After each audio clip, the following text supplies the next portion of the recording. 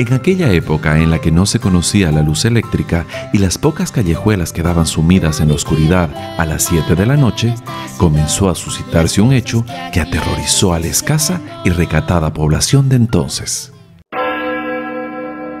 Tan pronto en la iglesia mayor sonaban las doce campanadas que marcaban el filo de la medianoche, despertando a brujas y fantasmas, sobre el empedrado de la calle Bernardo Valdivieso se escuchaba el ruido producido por los cascos de un caballo, que salía a todo galope y se perdía por las calles periféricas de la ciudad, que entonces eran apenas estrechos callejones.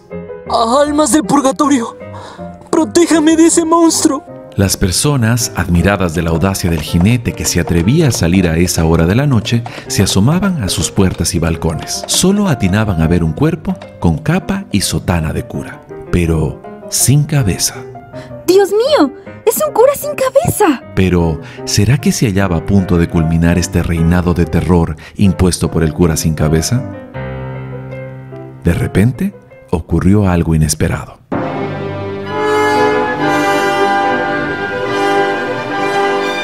Oye, oye, ¿tú dónde andabas metido?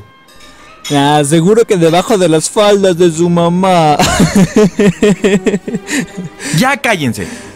Caballeros, el cura sin cabeza sigue rondando la ciudad. El periódico lo dice claramente. Es mejor que nos vayamos a la casa. No seas gallina, Arturito. De aquí nos vamos directo a atrapar a ese cura sin cabeza. ¿Trajiste las cuerdas? Sí, aquí está. Pero chicos, vamos nomás a la casa ya. Miren que dicen que ese monstruo, si te atrapa, te eleva por el aire y te bota al piso y sin piel. Mira, si no quieres ir, pues no vayas. Está claro como este traguito que me estoy tomando. Ya, corre, corre, que tu mamá te tiene que estar esperando. Conste que yo se los advertí.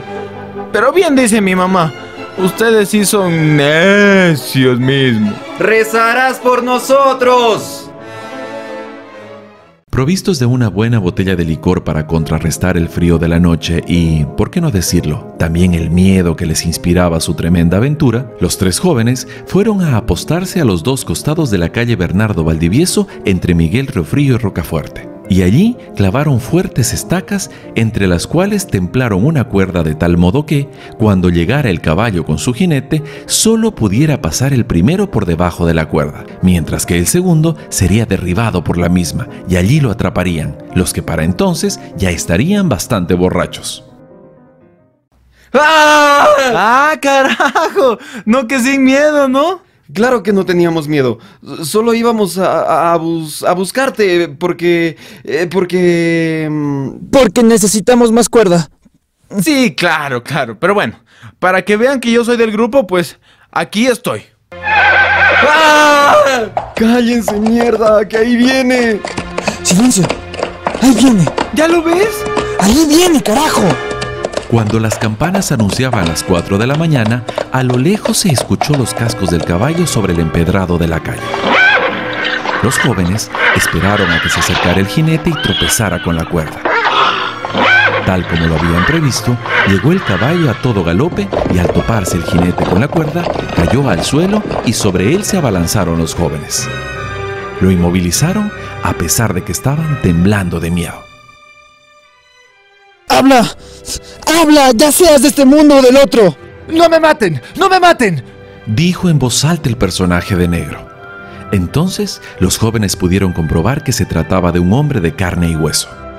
Una vez que le quitaron su extraño atuendo, una sotana de cura cosida de tal manera que el cuello quedaba sobre la cabeza, dejando solo unos agujeros para los ojos y otros a la altura de las manos, mientras que la capa le cubría hasta los pies, el hombre fantasma quiso huir, pero los jóvenes lo sujetaron fuertemente y le prometieron dejarlo marchar solamente después de que les hubiera contado los motivos, las razones o la historia de su extraña actitud.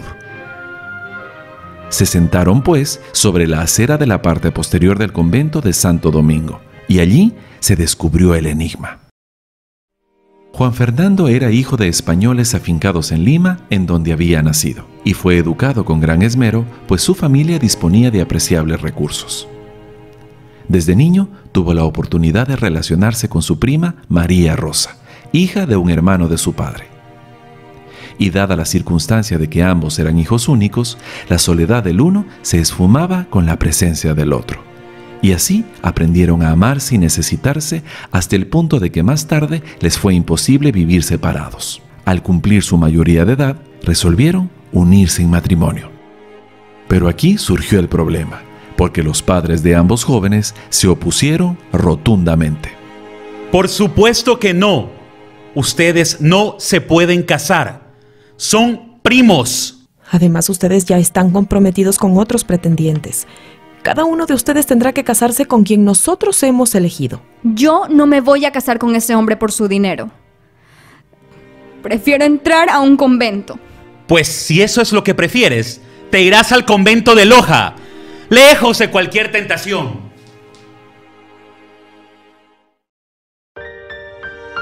Al despedirse de su amado, María Rosa le prometió jamás profesar y solamente estaría esperándolo hasta que él fuera a rescatarla. Él, por su parte, juró que así lo haría. Poco tiempo después, un apuesto joven se presentó en el convento de Santo Domingo en la ciudad de Loja, solicitando se lo admita primero como un huésped y después, si las circunstancias lo ameritaban, como un aspirante a la orden. Como los documentos que trajo desde Lima eran excelentes, el superior del convento lo acogió de buen agrado. Qué lejos estaban los religiosos de imaginar que ese joven callado y austero, que pasaba todo el día trabajando en el jardín o ayudando en los ministerios de la iglesia, era el mismo que por las noches se escapaba a visitar a su amada, que en igual situación se encontraba en el otro convento de la ciudad. Asimismo, los tres jóvenes que lograron derribarlo de su caballo y lo tenían inmovilizado exigiéndole que les revelara la verdad, se hallaban bastante lejos de imaginar que ese hombre fuera el mismo que mantenía aterrorizado al vecindario con el supuesto cura sin cabeza. Ay, es como esas novelas que lee mi mamá.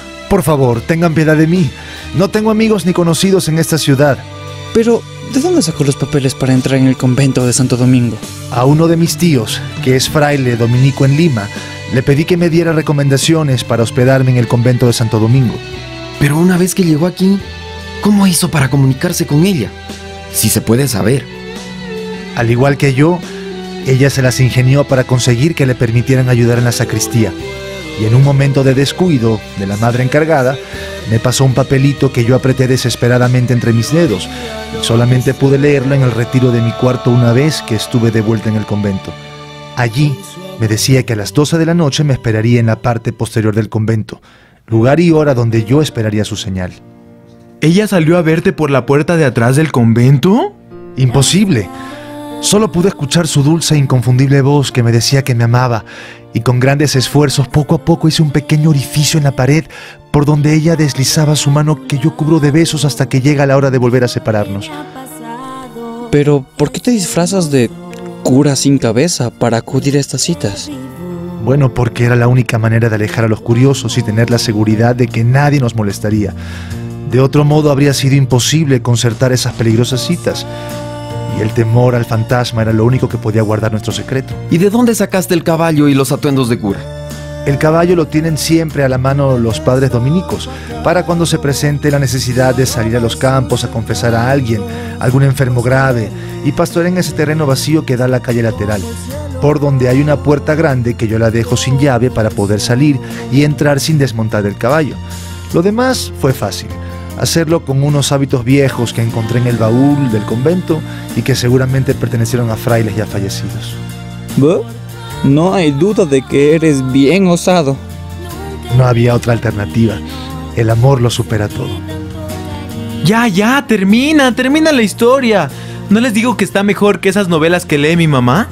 En todas las entrevistas nocturnas con mi amada planeábamos la fuga para el día siguiente después de la misa de cinco, a la que yo concurría infaltablemente como sacristán del padre Dominico. Pero todos los días había algo que estorbaba nuestro plan y sobre todo ella no se arriesgaba a ponerlo en práctica. Y así han transcurrido varios meses que han sido para los dos un verdadero infierno de angustia ante el temor de ser descubiertos. Y esto al fin ha ocurrido ahora truncando nuestro sueño de manera definitiva. No. No. ¿Me van a entregar a ustedes a las autoridades para que me encierren a la cárcel por lo que he hecho? No. Mira, te vamos a dar la última oportunidad de convertirte en el cura sin cabeza. Para que vayas esta noche a contarle a tu novia lo que ha ocurrido y prevenirla de que si mañana no se fuga contigo, se quedará para siempre en ese convento. Si ambos no aprovechan esta generosidad de nuestra parte, olvídate de que nos hemos visto, porque si una noche más de la que te concedemos te apareces por aquí como el cura sin cabeza, Irás a parar en la cárcel con caballo y todo. ¡Salud! Tan hermoso le pareció lo que acababa de escuchar que casi no lo creía. Abrazó a los muchachos como a los hermanos que nunca había tenido y corrió a preparar su ida.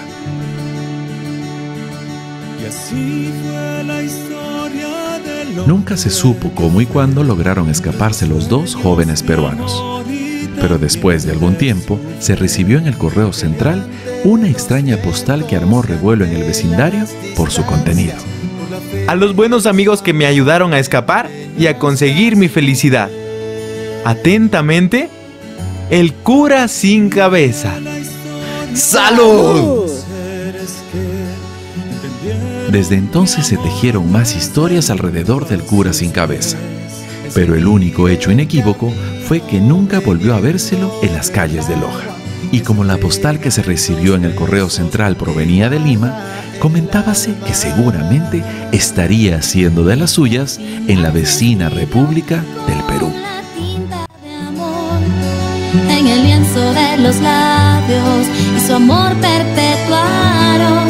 Hay historia de amor que detenga una ley. Ni en el cielo ni en la tierra, el amor todo es capaz de vencer.